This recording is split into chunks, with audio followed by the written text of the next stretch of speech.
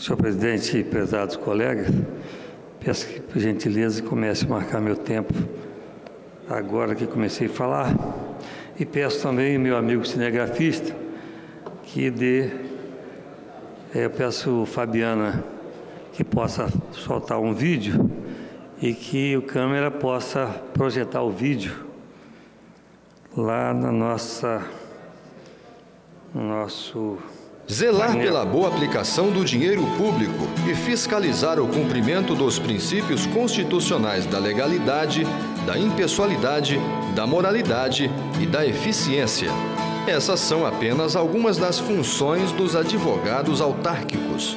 Atualmente, o Estado possui mais de 50 profissionais qualificados que atuam em diversas autarquias como Detran, IASES, DR, IDAF, IPAJM e IEMA, sempre com lisura, garantindo o melhor para a sociedade, atuando em processos judiciais, emitindo pareceres para fortalecer a atuação dos servidores, garantindo o melhor atendimento à sociedade. Advogados autárquicos, uma vacina no combate à corrupção.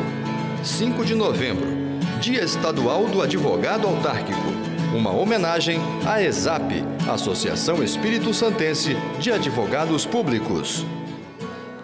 Muito obrigado. Obrigado, Fabiano. Esse evento ocorreu na OAB no dia 9 de novembro. É o Seminário de Advocacia Pública no Combate à Corrupção, uma vacina contra a corrupção. Pode é, passar agora as fotos, por gentileza, essa mesa que nós participamos, participamos da OAB no dia 9, portanto. Ali nós temos a outra foto, por favor. A outra foto nós temos ali, inclusive, o doutor Pedro Ivo, que é irmão do deputado Sandro Locutor, que participou também desse evento tão importante. Pode passar, continuar passando as fotos. Aqui já foi, por favor. Aqui já foi na Assembleia, na nossa sessão solene, que eu agradeço ao presidente Eric Musso que, e à mesa diretora que é, ajudaram a fazer essa sessão. Ali tem o, no exercício da Secretaria da Casa Civil, Juliana Nader e doutor Marcelo Zenkner, também ali. Pode ir passando. Essa é a foto das, dos participantes, alguns homenageados. E foi um momento muito importante e essa luta da advocacia pública é uma luta nossa de muitos anos. No dia 29 de junho, nós fizemos a criação da Frente Parlamentar da Advocacia Pública em defesa das prerrogativas dos advogados capixaba. Para quem não sabe o que é advocacia, advogado das autarquias, advogado do CESAM, é, da, advogado do DETRAN e todas as autarquias, da IPAJM, enfim, todas as autarquias do Estado. Esses advogados são tão importantes que eles economizam, eles levam a sua profissão, o seu, é, os seus pareceres com muita transparência, muita dedicação e muita seriedade. E tem várias, várias, várias pontos que eu poderia citar aqui, mas na verdade o tempo é pequeno, já falta um minuto.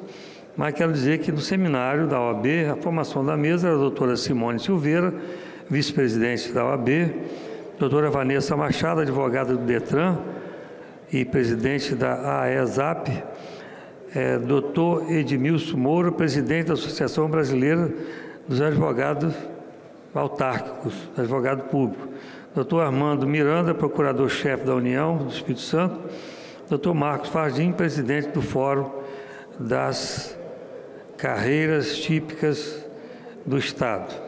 E a sessão solene nós tivemos aqui a presença também na mesa do doutor Alexandre Venturim, doutor Dalto Santos Moraes, doutor Edmilson Moura de Oliveira, doutor Luiz Henrique Aloc, doutor Marcelo Barbosa de Castro Zenkner, doutor Raul Guilherme Malacarne Dutra, doutor Ricardo Tedoldi Machado, Dr. Rodrigo Santos Neves, doutora Vanessa Zanotti. Então, eu quero agradecer especialmente à mesa, ao presidente de toda a mesa, por essa sessão que nós presidimos aqui e dizer da seriedade do advogado autárquico, além do que eles querem, condições de trabalho, não querem ingerência nas, nos seus pareceres e querem equiparação também, como o Ministério Público, que não é naturalmente favor nenhum, simplesmente é um reconhecimento da carreira dos advogados das autarquias. Muito obrigado.